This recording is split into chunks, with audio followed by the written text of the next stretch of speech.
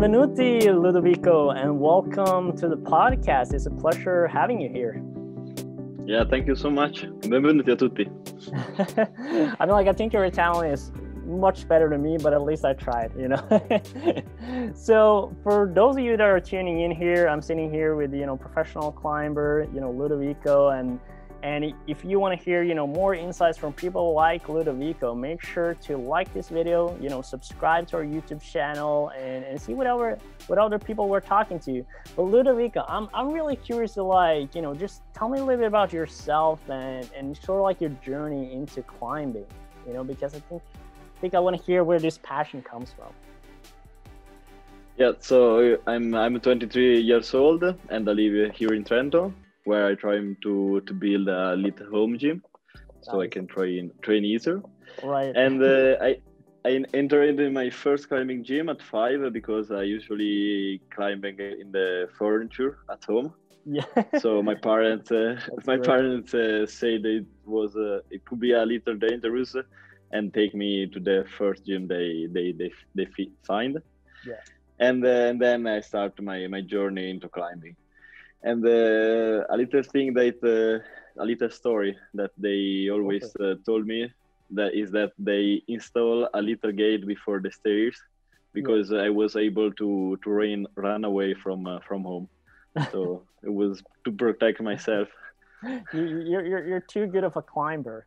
That's essentially. but that's that's a fun story. Then I mean, like at least your parents were like, okay, this guy climbs a lot. Let's let's just get him right into the climbing wall so he can actually, you know, perhaps become really good at it. And, and that's what happens. That that's awesome. So like you said like you started like going into the sort of like the climbing gym like from like you were five. Is like have you just like kept climbing like since then or like how did you sort of like build up your way in, in climbing, I guess?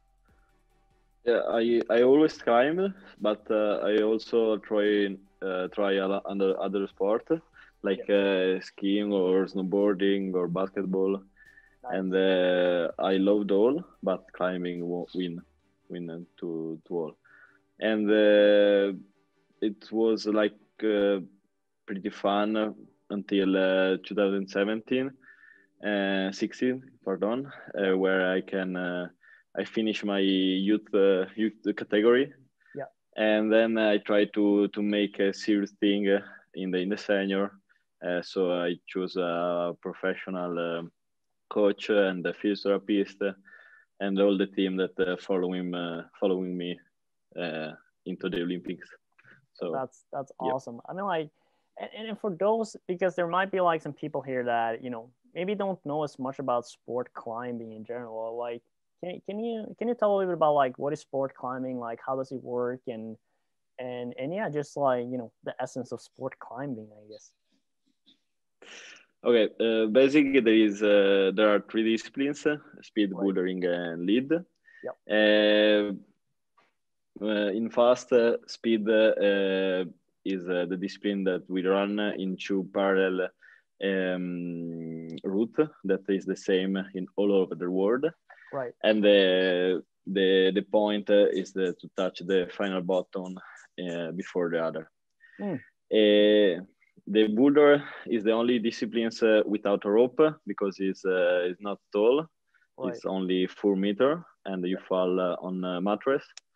And um, and there is a um, more route, like four in the qualification, four in the semi-final, and four in the final yeah. and the, the the point is the to to find the best beta and uh, close uh, in the in less tent in less attempts mm. possible and the lead is um, is the i don't know is the easy thing when uh, when you think about climbing because uh, uh, you climb and uh, the point is to reach the high, highest point possible yeah. So the the last hole that you touch uh, is uh, your score.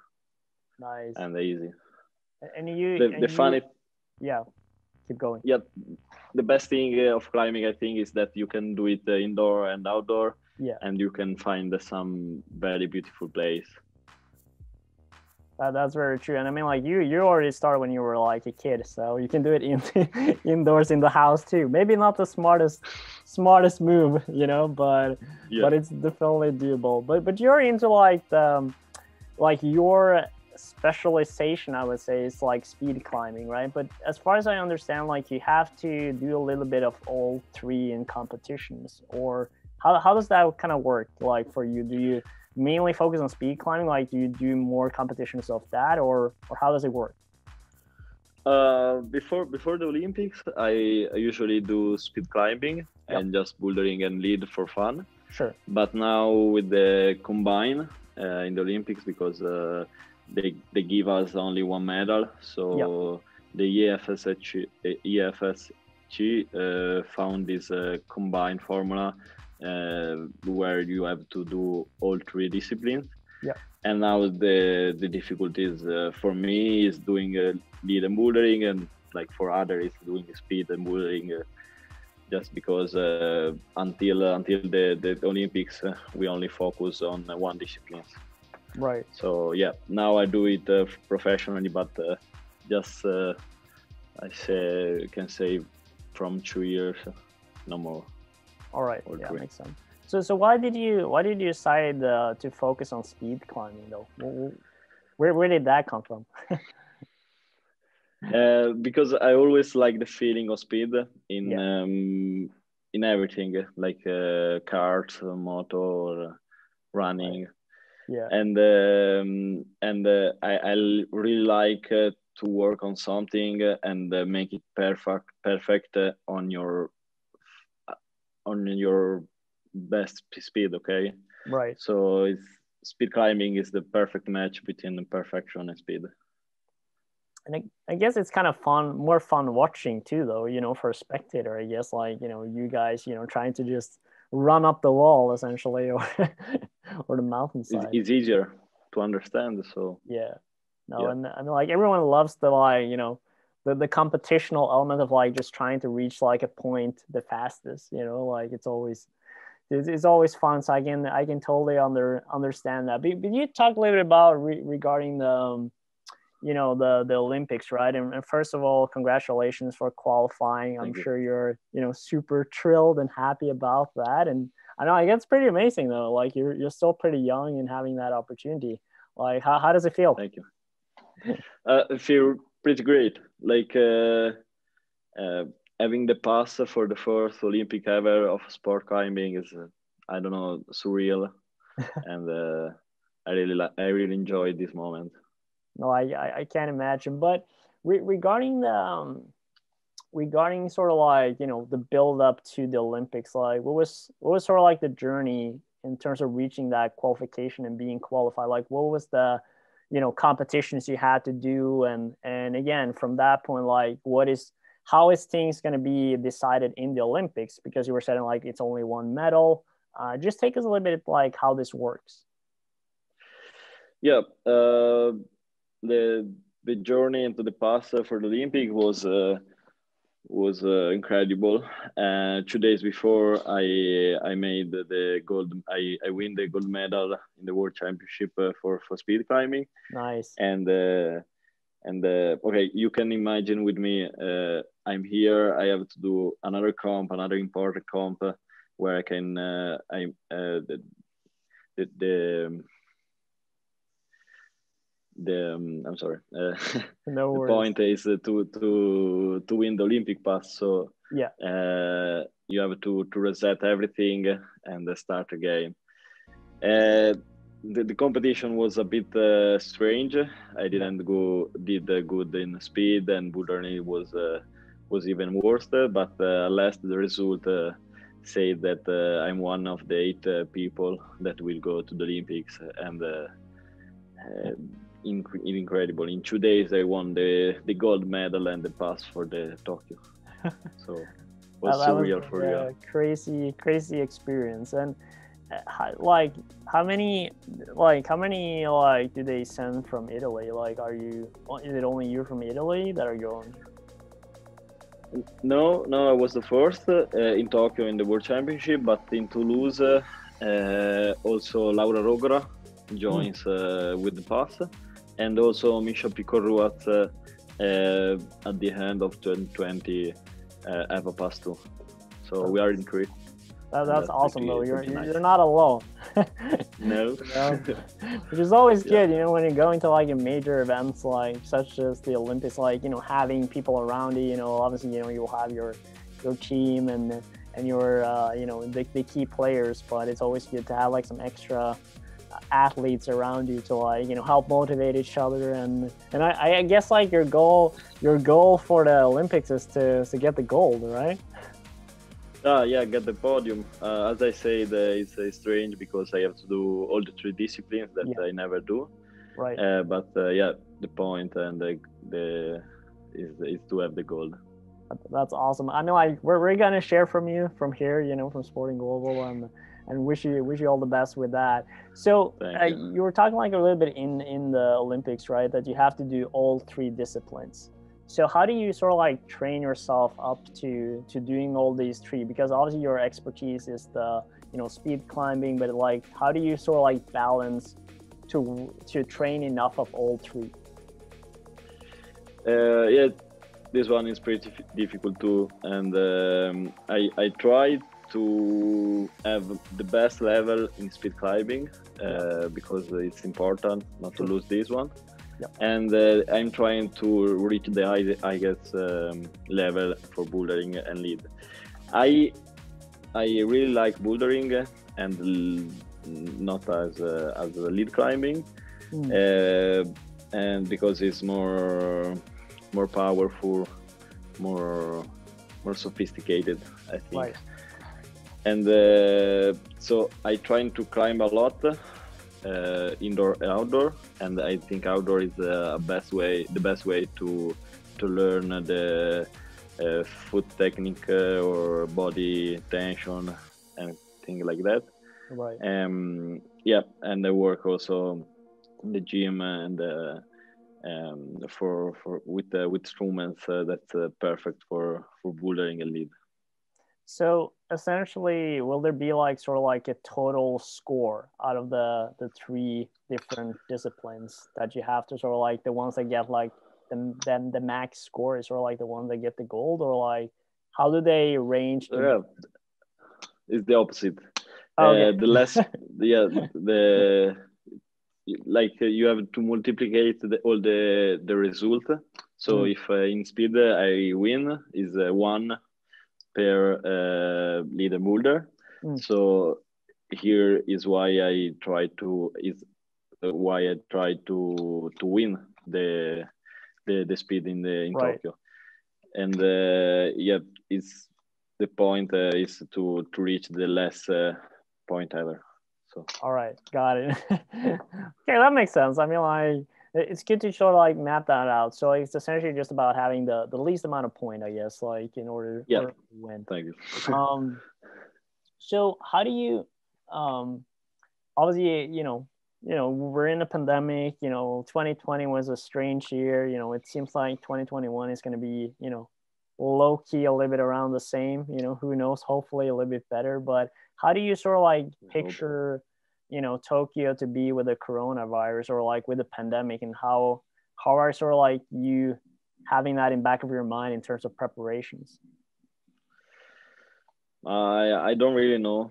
Uh, there is some voice uh, to Tokyo, and there is some voice that athletes uh, will make the the basin, or mm. that Tokyo will become a bubble like uh, like the NBA. Yep. I, I don't really know. Is nothing is uh, is um, is true. Not no no voice is true for now. Mm. Uh, the only thing is no. I know that uh, it, I'm sure that Tokyo will make it happen. Yeah. And there is no cancellation. Uh, but I, I don't know the how. I don't know how. Right. So, so you don't have like you know the, the the clear guidelines yet, but but I mean, like, I guess, like, you know, now it's just like for you to, you know, stay, stay safe, stay healthy, and just train, yep. focus on your training, right? And just make sure you're prepared for building, building yourself up to that, you know, the time of the Olympics, I guess. Yeah. And uh, yeah, and, that's the point. going a little bit into like sort of like you know the, the climbing industry in general and and sort of like the potential obviously now you know being in the olympics and everything like from your point of view like how do you see sort of like you know the climbing industry moving forward and and and sort of like the potential that that lies there? Mm, we see we see the climbing uh, is uh, growing up. Uh, it's really growing up starting from the number of kids and the people come to trying yeah. And uh, all the company companies is trying to do everything uh, do more in, in, um, invention is right? Right yeah yeah. And and uh, something new and the show is like the climbing show is really new and uh, someone is really perfect. So everything is growing up and olympic uh, make it happen but uh, we we have to to continue uh, this grow because it's a sport that uh, can i don't know it's not only a sport it's just it's um, a point of view uh, right. like uh, you have to to share the nature the people to stay good uh, and uh, it's not only a sport for me so yeah oh, but that's that, that's great and i mean like i even thought about like here like in norway you know there's there's so many mountains like i know like we have like some great you know former professional climbers and and I, but i still like i don't see it you know it's it's not as big any like still in, in, Norway. So there's definitely a lot of potential for you know countries like Norway and others to like you know that has the facilities, I guess, and the nature to like do a lot of climbing. You know, I think it's it's a it's a fascinating sport and and the fact that you know you have like these different disciplines as well as you said like with the speed climbing like with the bouldering and and the and the lead you know it just showcases like okay you can find sort of like what what interests you the most. And i guess like if there's anyone out there that are like you know watching this and listening to this you know make sure to check out you know ludovico and his videos on speed climbing because i mean like that's that's pretty fast yeah. Yeah and then every every people from every age can can come to try because uh, there is a lot of level and uh, so is the the easy from the easiest uh, to the hardest. So yeah. I think everything can uh, everyone sorry can can try. And it's a great way to to uh, increase your finger strength you know? Yeah. Yeah yeah. I remember like i tried it in school because i did like sports education and it was like I was like, what am I holding on to? You know, like I'm, I'm, I'm used to like throwing a football, you know? so that was like super hard, but it's good practice. And I always say like this too because um, I mean, I'm gonna try to find him like for you, but I don't know. There's there's a really good like Norwegian former climber, and like one of the coolest things to see with him is like he do like this one one finger pull pull ups, you know. And I'm like, yeah, yeah. even with the with the small one. I know. So so I, I can't I can't I can't. I mean, like I was always like, okay, you maybe have to send us that video. uh, all right but but to, to sort of like do like a final question here you know because we're starting to wrap up to the end here and and, and for those that you know you know maybe want to try climbing and like maybe want to be part of the business side i guess as well of climbing like like what kind of what kind of like tips do you have for like someone who's just interested in climbing and and just maybe want to explore like how do they how do they sort of like begin you know the the first the first thing I, I can say is uh, come to try because as uh, as I said before, uh, everyone can can come to try. Yeah. And the uh, other thing is like uh, it's, it's a strange and beautiful world where where you have to to love the nature and people around you. Yeah. Uh, so it's not as I said, it's not just a sport. It's a it's a lifestyle. Right and uh, and another thing that I like is uh, is that a sport uh, that uh, makes you fall a lot. So you have to be, you have to be able to to stand up again and again. Right. So that's it's a good learning main... lesson though.